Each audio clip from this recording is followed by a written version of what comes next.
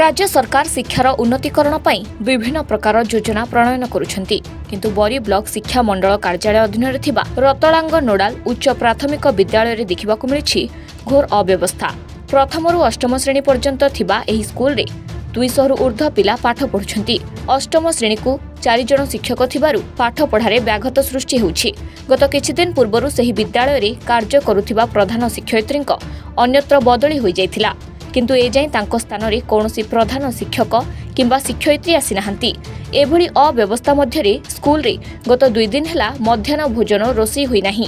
ଏନେଇ ସ୍କୁଲରେ ପଢୁଥିବା ପିଲାଙ୍କର ଅଭିଭାବକମାନେ ଫୋନ୍ ମାଧ୍ୟମରେ ବ୍ଲକ ମଣ୍ଡଳ ଶିକ୍ଷାଧିକାରୀଙ୍କୁ ଯୋଗାଯୋଗ କରିଥିଲେ ମଧ୍ୟ କିଛି ସୁଫଳ ମିଳିନାହିଁ।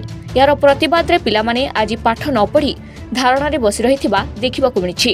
ଖବର ପାଇ ସ୍କୁଲକୁ ଅତିରିକ୍ତ ମଣ୍ଡଳ ଶିକ୍ଷାଧିକାରୀ ପହଞ୍ଚି ଅଭିଭାବକଙ୍କ ସହ ଆଲୋଚନା କରି ଆସନ୍ତା ସାତ ଦିନ ମଧ୍ୟରେ ଏହାର ସମାଧାନ କରିବାର ପ୍ରତିଶ୍ରୁତି ପରେ ଛାତ୍ରଛାତ୍ରୀମାନେ ଆନ୍ଦୋଳନକୁ ପ୍ରତ୍ୟାହାର କରିଛନ୍ତି। ବରୀରୁ ସ୍ନେହାଂଶୁ ଶେଖର ମହାନ୍ତିଙ୍କ ରିପୋର୍ଟ ଯାଜପୁର ନ୍ୟୁଜ୍।